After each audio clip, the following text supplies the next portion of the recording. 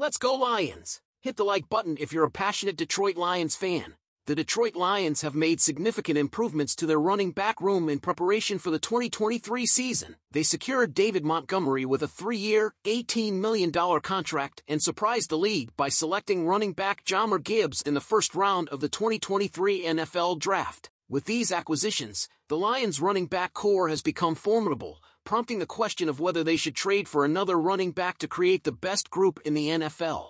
The potential target for the trade is Indianapolis Colts running back Jonathan Taylor, who recently requested a trade. Taylor's situation has sparked discussions about fair compensation for running backs, as he is in the last year of his rookie contract and lacks a fifth-year option. However, despite Taylor's talent and availability, the Lions may not be the best fit for him. Firstly, the Lions already boast talent with Montgomery and Gibbs, as well as the addition of Justin Jackson. Adding Taylor could create intense competition for limited playing time, making it challenging for all three backs to get significant touches.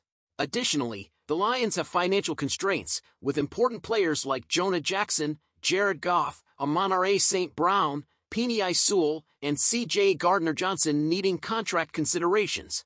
On the pro side, acquiring Taylor would undeniably form one of the strongest running back rooms in the NFL, with a well-rounded trio of Taylor, Montgomery, and Gibbs. Utilizing Gibbs in the kick return game could further enhance their capabilities. Supported by a strong offensive line, the Lions could become top contenders in the NFC. Ultimately, the Lions are better off without making the trade. They are not at the stage of a rebuild, nor are they in a position to make win-now trades. Their focus lies elsewhere, and other teams may benefit more from Taylor's talents. Detroit fans are appreciative of their ownership, led by Sheila Hamp, which prioritizes winning and player well-being.